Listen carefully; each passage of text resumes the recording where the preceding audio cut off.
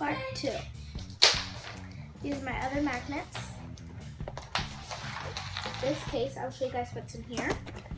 My pencil case, I'll show you guys what's in here probably in the next video. My Common Core book for math. My yearbook. My science book, love science.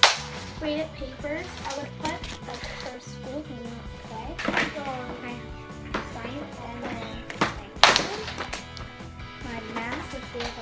day reading. This is my guided reading.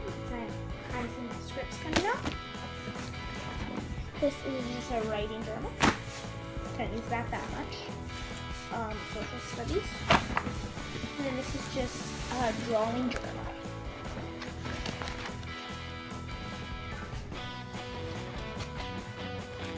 To do some random stuff in here. And it worked out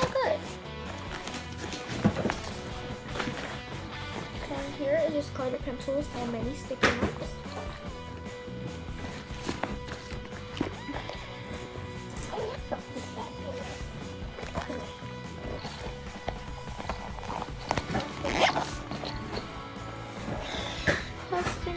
crusted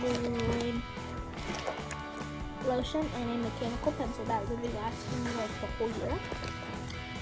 Um, a pen and a black Sharpie pen thing, chapstick, coconut, and another pencil. And then some change because in school I would make paper. I would make paper. I don't know if you can see because they're all in that corner, but I would make paper squishies and then sell them to people. Mm, a couple cents.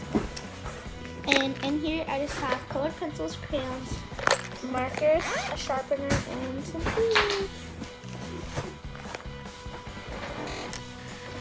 Um, the sharpeners from Target, so this is sells all the other supplies. These are like the cool colored ones. And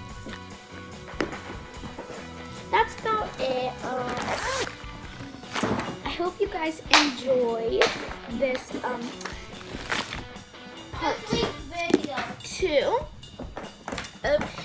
video. And I'll show you guys the big pile that I have to clean up.